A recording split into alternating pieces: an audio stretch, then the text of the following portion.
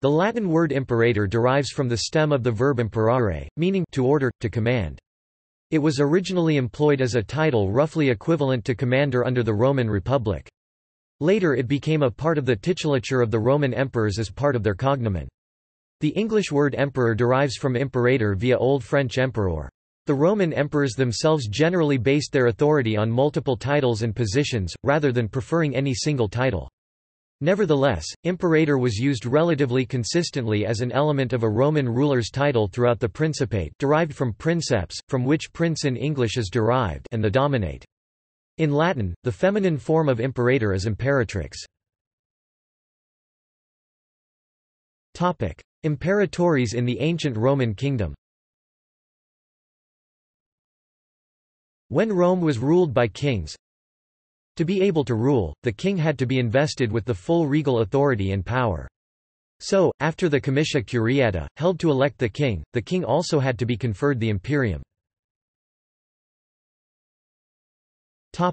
Imperatores in the Roman Republic In Roman Republican literature and epigraphy, an imperator was a magistrate with imperium.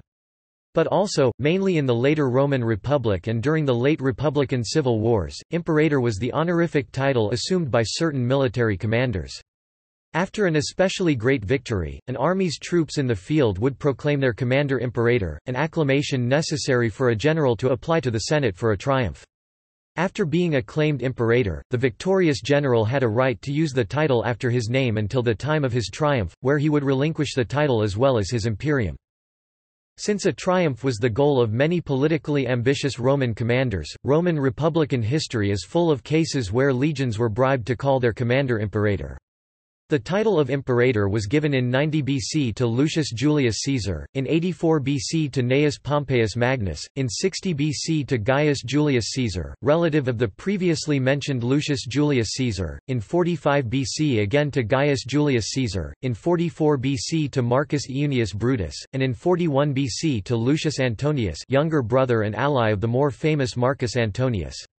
In 15 AD Germanicus was also imperator during the empire see below of his adoptive father Tiberius. Imperator as an imperial title After Augustus established the Roman Empire, the title imperator was generally restricted to the emperor, though in the early years of the empire it would occasionally be granted to a member of his family. As a permanent title, imperator was used as a praenomen by the Roman emperors and was taken on accession. After the reign of Tiberius, the act of being proclaimed imperator was transformed into the act of imperial accession. In fact, if a general was acclaimed by his troops as imperator, it would be tantamount to a declaration of rebellion against the ruling emperor. At first the term continued to be used in the republican sense as a victory title but attached to the de facto monarch and head of state, rather than the actual military commander. The title followed the emperor's name along with the number of times he was acclaimed as such, for example imp v. Imperator five times. In time it became the title of the de facto monarch, pronounced upon and synonymous with their assumption.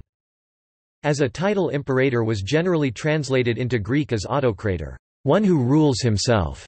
Also sometimes used as a translation for Roman dictators, this was necessarily imprecise as it lost the nuances of Latin political thought contrasting imperium with other forms of public authority.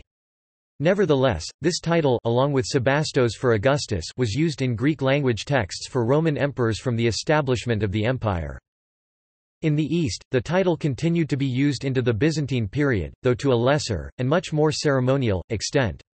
In most Byzantine writings, the Greek translation, autocrator, is preferred, but imperator makes an appearance in Constantine IV's mid-7th century mosaic in the Basilica of Santa Sant'Apollinare in Classe, and on various 9th century lead seals.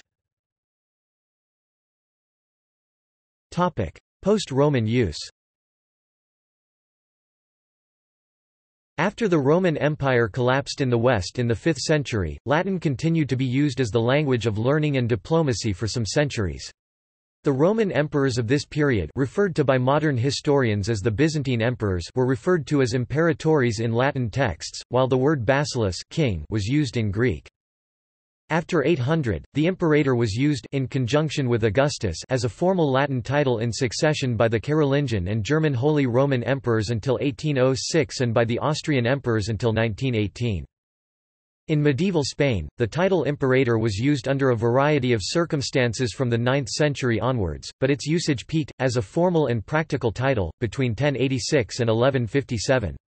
It was primarily used by the kings of Leon and Castile, but it also found currency in the Kingdom of Navarre and was employed by the counts of Castile and at least one Duke of Galicia.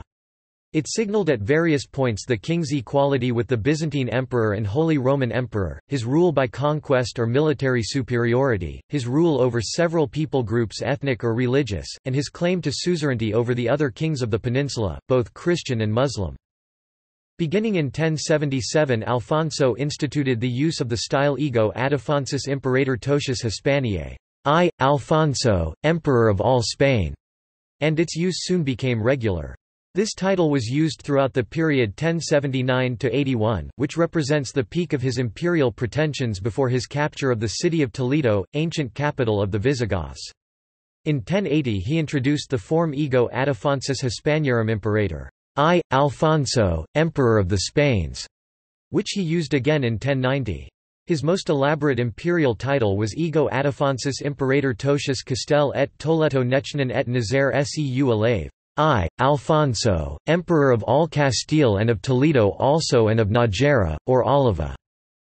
In 1721, as part of his drive to both westernize the Russian Empire and assert the monarchy's claim that it was the successor to the Byzantine emperors, Peter the Great imported the Latin word directly into Russian and styled himself imperator. The style remained the official one for all his successors down to the end of the Russian Empire in 1917, though the Russian rulers continued to be colloquially known as Tsar a word derived from Caesar, which they had begun to use c. 1480 to likewise assert their contention to be the heirs to the Byzantine state see, Third Rome, reigning female Russian rulers were styled imperatritsa. Napoleon famously adopted the title for himself and after the Napoleonic Wars, the number of emperors in Europe proliferated, but Latin began to fall out of use for all but the most ceremonial situations. Still, in those rare cases in which a European monarch's Latin titles were used, imperator was used as a translation for emperor. Famously, after assuming the title Emperor of India, British monarchs would follow their signatures with the initials RE, standing for Rex Imperator King Emperor". George VI of the United Kingdom was the last European ruler to claim an imperial title. When he abdicated as Emperor of India in 1948, the last active use of the title Imperator in the West ceased. It was thereafter used only historically, or as a Latin translation for certain continuing titles of non-European cultures, such as Japan. The imperial title was also adopted by Jean Bedel Bokassa, during his reign as the emperor of the short-lived Central African Empire 1976